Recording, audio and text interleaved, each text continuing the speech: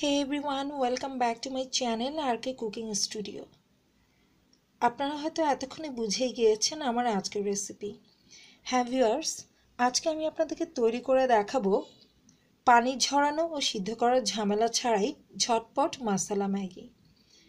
আর মাসালা ম্যাগি ছোটো বড় আমাদের সবারই কিন্তু ভীষণ প্রিয়। আর বাচ্চাদের টিফিনে তো এর জুড়ি নেই। তো ভিউয়ার্স চলুন দেখে নিই কীভাবে পানি ঝরানো সিদ্ধ করার ঝামেলা ছাড়া আমরা ঝটপট মাসালা ম্যাগিটা তৈরি করে নিতে পারি।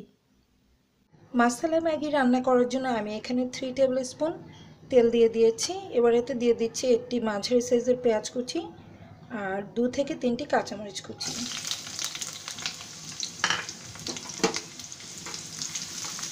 পেঁয়াজ কাঁচামরিচটাকে কিছুটা ভেজে নিতে হবে।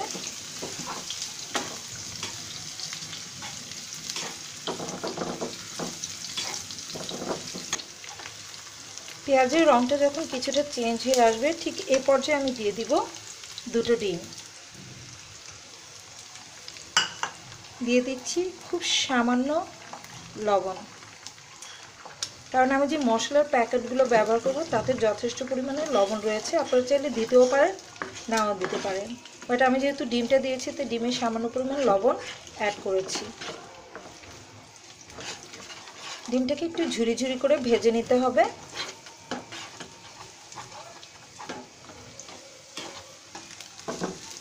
ডিমটা ঝুরি ঝুরি করে ভাজা হয়ে গিয়েছে। ঠিক এ পর্যায়ে দিয়ে দিচ্ছি কুচি করে নেওয়া কিছু গাজর আর একটা ছোট সাইজের টমেটো। সেই সাথে দিয়ে দিচ্ছি ম্যাগির প্যাকেটে যে মশলার প্যাকেট ছিল সেটা। আমি দুটো ছোট সাইজের মশলা ম্যাগি নিয়েছি সেই জন্য দুটো প্যাকেটে দুটো মশলার প্যাকেট ছিল। সেটা দিয়ে দিচ্ছি। দিয়ে নেড়ে চেড়ে কিছুক্ষণ ভেজে নিতে হবে। খুব বেশি সময় এটাকে ভাজার দরকার নেই।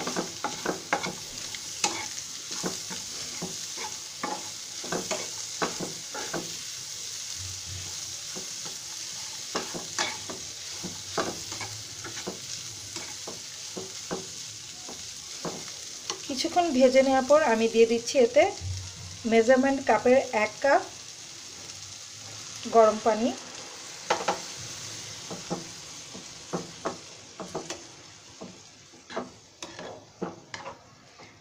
আজকে যেহেতু আমি পানি ঝরানোর ঝামেলা ছাড়াই এই মশলা ম্যাগিটা তৈরি করছি তো আমি ফুটন্ত গরম পানি দিয়েছি। আর নুডলসটা আমি সেদ্ধ করার পর পানিও ঝরিয়ে নেব না, তাই সরাসরি এই পদ্ধতিটা অবলম্বন করছি। সেই সাথে দিয়ে দিচ্ছি এরকম ম্যাগি, স্বাদে ম্যাজিক একটা মশলা পাওয়া যায়, সিজনিং মিক্স। সেটা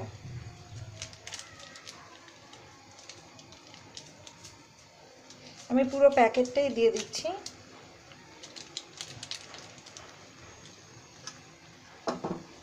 যেহেতু আমি গরম পানি ব্যবহার করেছি, তাই পানিটা ফুটতে বেশি সময় লাগেনি। তবে এই পর্যায়ে আপনারা চাইলে ঠান্ডা পানিও দিতে পারেন। তবে পানির মাপটা পারফেক্ট হওয়া চাই তা না হলে নুডলসটা ঝরঝরে হবে না। তা আমি এরকম দুই মিনিট ম্যাগি যে দুই মিনিটের নুডলস প্যাকেট রয়েছে, দশ টাকা করে এরকম দুই প্যাকেট নুডলস আজকে রান্না করছি। তো দিয়ে দিচ্ছি।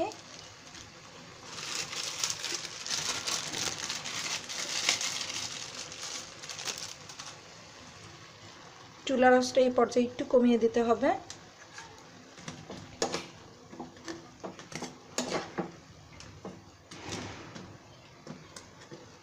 কিছুক্ষণের মধ্যেই নুডলসটা অটোমেটিক্যালি খুলে যাবে।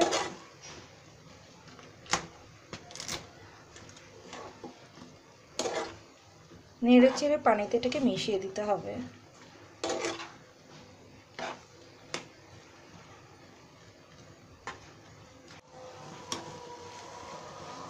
অলরেডি নুডলসটা খুলে গিয়েছে এবং দেখতে পাচ্ছেন তো হালকা কিছু পানি রয়েছে। জাস্ট দু থেকে তিন মিনিট এটাকে একটু ভেজে নিবে, এতে করে এক্সট্রা পানিটাও শুকিয়ে যাবে এবং নুডলসটাও পারফেক্টলি সিদ্ধ হয়ে যাবে। এক্সট্রা পানি একদমই শুকিয়ে গেছে, আপনারা দেখতে পাচ্ছেন এবং এটা কিন্তু বেশ ঝরঝরে হয়েছে।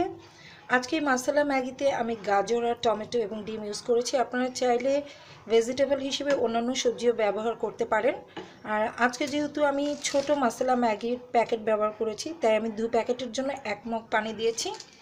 আপনারা যদি এর থেকে একটু বড় সাইজের প্যাকেট ইউজ করেন, সেই ক্ষেত্রে এক প্যাকেটের জন্য এক মগ পানি ব্যবহার করবেন।